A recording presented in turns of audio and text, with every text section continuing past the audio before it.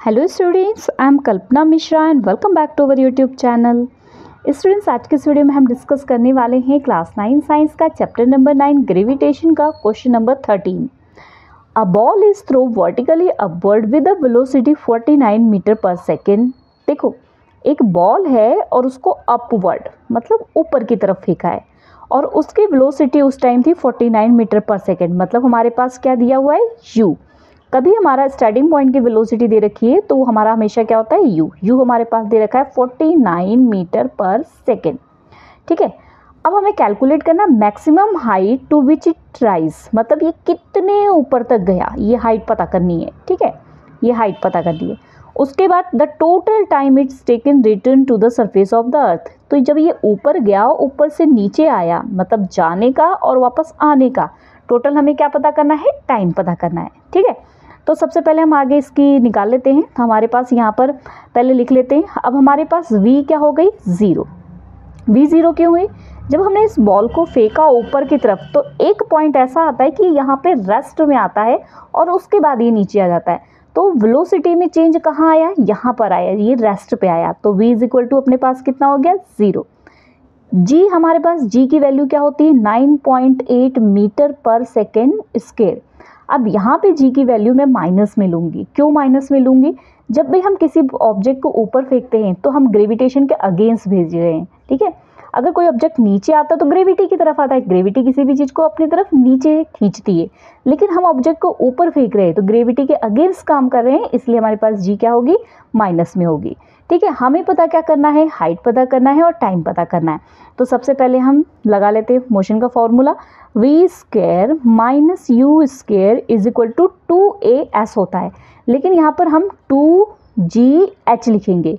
क्यों लिखेंगे? जो यहाँ की ग्रेविटी ऑफ़ एक्सलरेशन नहीं है यहाँ एक्सलरेशन ड्यू टू ग्रेविटी है, इसलिए जी और डिस्टेंस नहीं, यहाँ पर हम क्या ले रहे हैं? हाइट ले रहे हैं, इसलिए यहाँ पर होगा एच वी की वैल्यू हमारे पास ज़ीरो है यू की वैल्यू हमारे पास 49 स्केयर है इज़ इक्वल टू क्या लिख देंगे हम? Two multiply minus nine point eight g की वैल्यू हमारे पास माइनस नाइन पॉइंट एट है।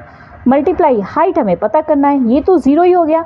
यहाँ पर माइनस फोर्टी नाइन और फोर्टी नाइन को हम अलग अलग चाहे लिख देते हैं। यहाँ पर forty nine multiply forty nine is equal to two multiply क्या हो गया हमारे पास? माइनस नाइन पॉइंट एट ठीक है?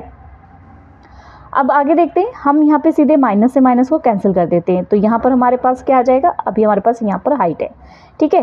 तो उसके बाद हमारे पास क्या हो जाएगा? एच इज़ इक्वल टू ये जो वैल्यू है, यहाँ पर अगर हम h को इधर लेके जाते हैं, h को हम यही लेते हैं, इस डिजिट को हम इधर लेके जाते हैं तो यहाँ पर हमारे पास क्या हो जाएगा? 49 नाइन मल्टीप्लाई फोर्टी ऑलरेडी है।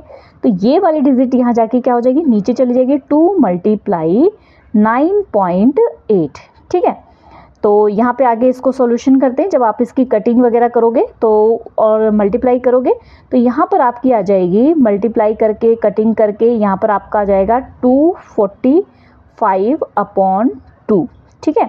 तो यहाँ पे देख लेना, यहाँ पॉइंट हटा के टेन कर देना और जिससे आपस में इसकी मल्टीप्लाई करके कटिंग करना तो ये डिजिट आ जाएगी। और जब आप इसको डिवाइड करोगे तो आपका आ जाएगा one twenty two point five metre ये आ गई हमारी हाइट ठीक है? नेक्स्ट अब हमें पता करना है टाइम तो टाइम के लिए हम नेक्स्ट पॉइंट के लिए टाइम के लिए हम क्या फॉर्मूला लगाएँगे?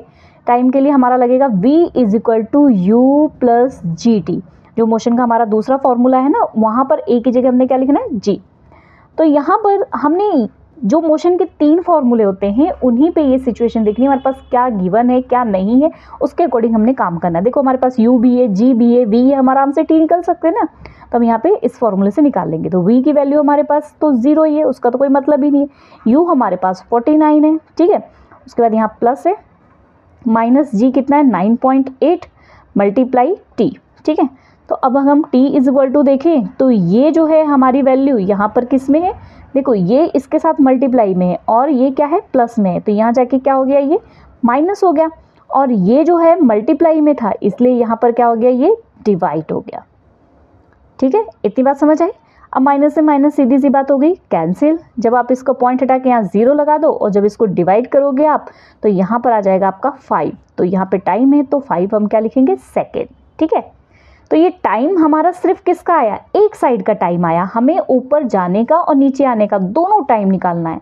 तो हम अगर टोटल टाइम निकालेंगे टोटल टाइम दो बार एक बार बॉल ऊपर गई, एक बार नीचे आई, इसका मतलब दो टाइम हमें करना है। टी टी है ना? तो क्या हो गया ये? टू टी हो गया। टू मल्टीप्लाई टी कितनी है अपने पास यहाँ पे? फाइव तो कितना आ गया यहाँ पर? यहाँ पर आ गया टेन अभी इस टाइम में इसलिए क्या लिखेंगे हम? सेकेंड ठीक है? तो बहुत इजी न्यूमेरिकल है। आई होप आपको समझ आ गया हो तो यहाँ पे आप स्क्रीनशॉट लेना चाहते हो तो स्क्रीनशॉट ले लो और इसको सॉल्व कर लो। ठीक है? Okay students I hope video helpful लगी हो। वीडियो को लाइक शेयर करना। मिलते नेक्स्ट वीडियो में। बाय